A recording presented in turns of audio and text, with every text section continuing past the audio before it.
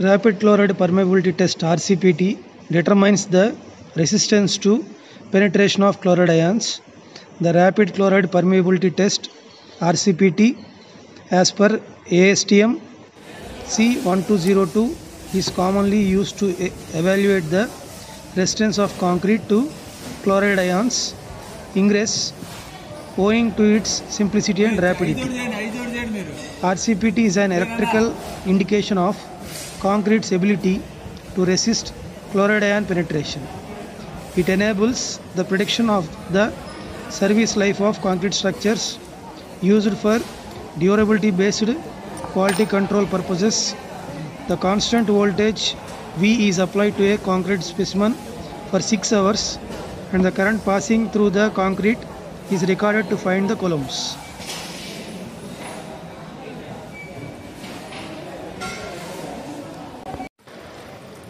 Fill water in vacuum desiccator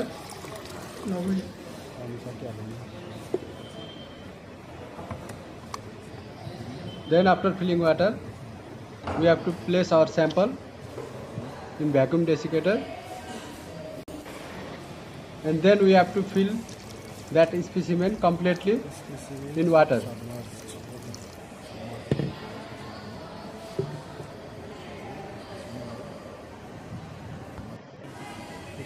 after that we have to cover the vacuum desiccator okay we can put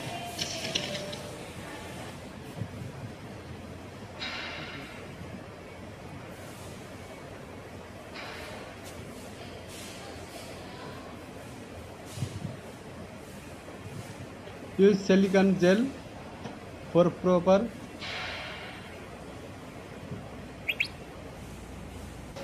This test determines the electrical conductance of the different grades of concrete mixes and indicates its resistance to the penetration of chloride ions. Standardized testing procedures are in AASHTO T277 or ASTM C1202. Now the vacuum desiccator is properly closed.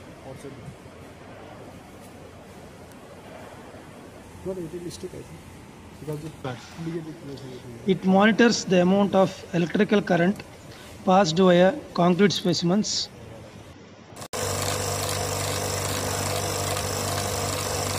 Now we start vacuum desiccator and make sure that the pressure should decrease to 50 mm at this in few minutes.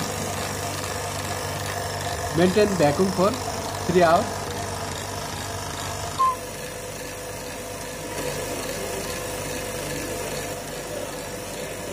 Movement of ions in a porous medium under a concentration gradient is called diffusion. It is often necessary to ascertain the impermeability of concrete to chloride ions as a quality control measure and assessment of improvements in properties of new concrete. RCPT is measured in coulomb, current is measured in ampere. A coulomb is an ampere second means which means 1 ampere passed through the concrete specimen in 1 second is 1 coulomb and the charge passed is 60 seconds would be 60 coulombs. Higher the coulomb the higher the permeability and vice versa.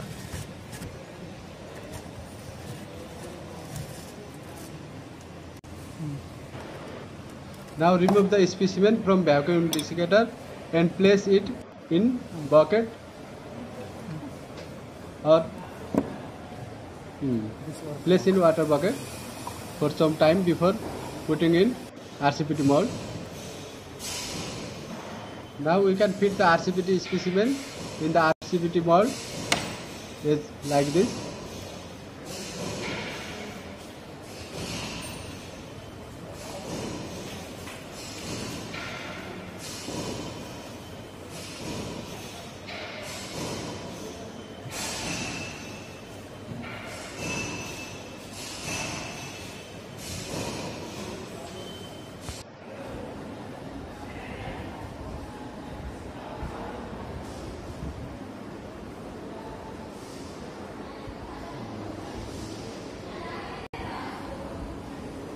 Having dia 100 mm and thickness of 50 mm is cast and saturated.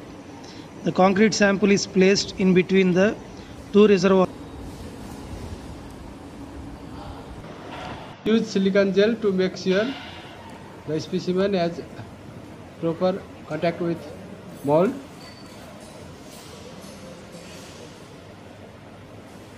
So that water may not leak from the mold.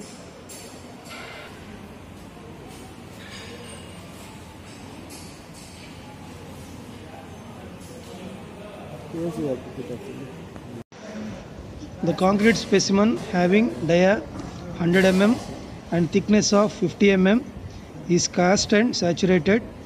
The concrete sample is placed in between the two reservoirs known as a single cell having NaCl solution in one reservoir and NaOH solution in the other one. These reservoirs are connected to a DC supply and the voltage of 60 volt is applied to the concrete specimen at both ends for 6 hours. The current passing through the concrete at different time intervals is measured. It is determined by an LCD that is connected to the cell.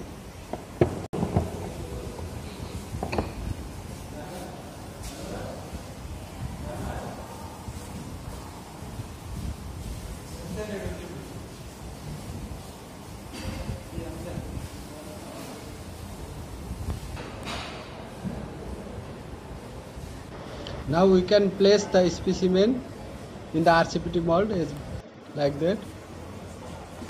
And for that we have to place in one person 3% NaCl and in another 0.3 and NaOH. For making NaCl we have to dissolve 30 gram NaCl in 1 liter distilled water and for 0.3 N sodium hydroxide solution we have to dissolve 12 gram of sodium hydroxide pellet in 1 liter distilled water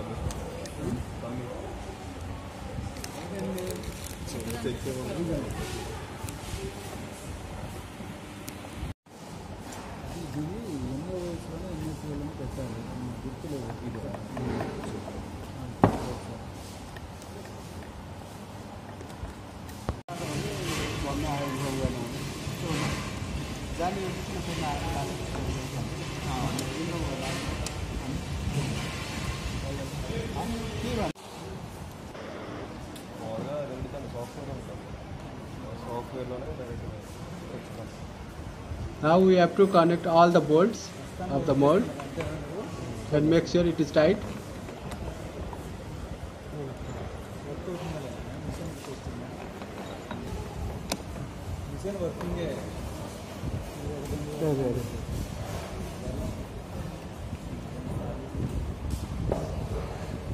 fourteen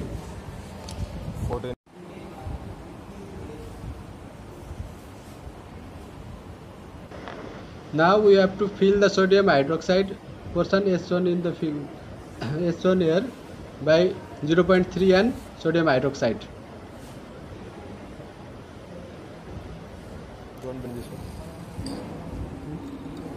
Hmm. Keep it like this one.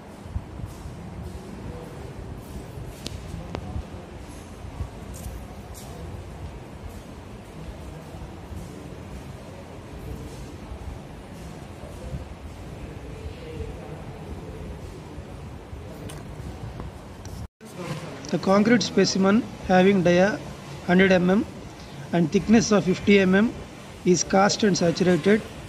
The concrete sample is placed in between the two reservoirs known as single cell having NaCl solution in one reservoir and NaOH solution in the other one.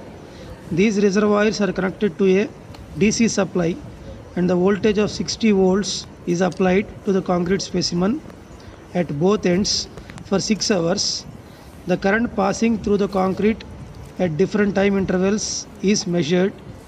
It is determined by an LCD that is connected to the cell.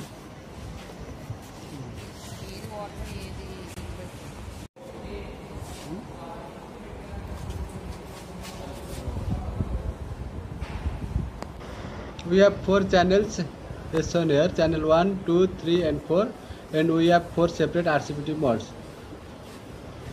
for connecting channel 1 to this mode uh, we have to connect this sodium hydroxide to positive terminal and sodium chloride to negative terminal.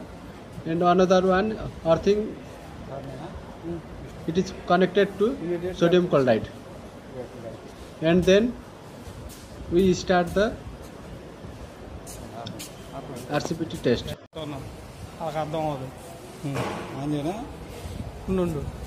Oh. Once we start, we can see there in the display the method ASTMC1202 and these are channels 1, 2, 3, 4 and here we have only used channel 4. So in channel 4 the reading is shown here. Current is milliampere and temperature of the solution is 31 degrees Celsius. And after 6 hours it will give the current. It will give the charge passed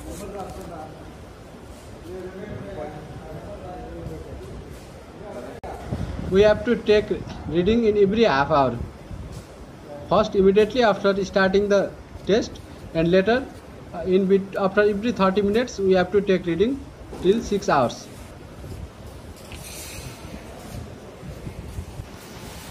Concrete is the most versatile and widely used construction materials in the world. Its durability is the key characteristic that determines the lifespan of the structures.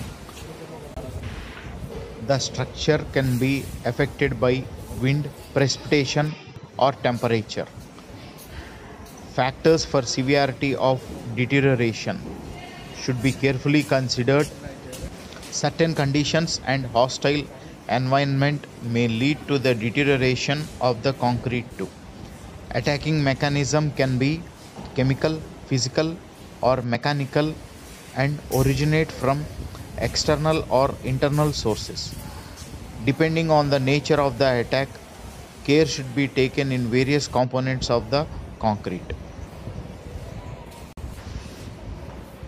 Causes of deterioration of concrete and measures to prevent such damages which enhance the durability of the concrete structures.